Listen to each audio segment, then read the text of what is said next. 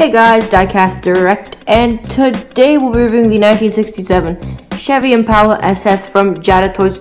So this is a really nice model. It does have some damages because uh, I'm pretty sure I got this from uh, some some garage sale lot, but I didn't record it. Uh, sorry about that.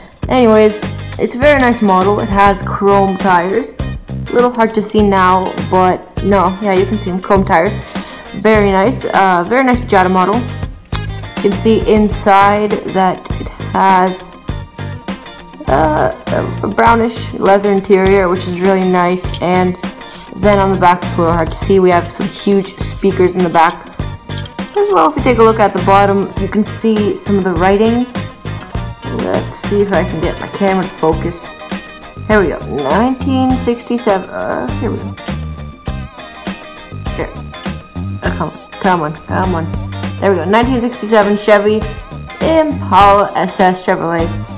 And then at the bottom, Jada Toys Inc. Made in China, of course.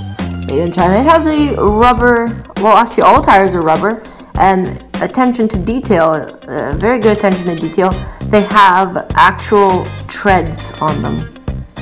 It just adds like a more realistic touch to it.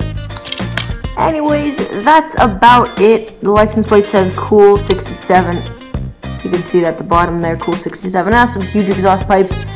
Other than that, it's a really nice car. Hope you guys like this video and subscribe.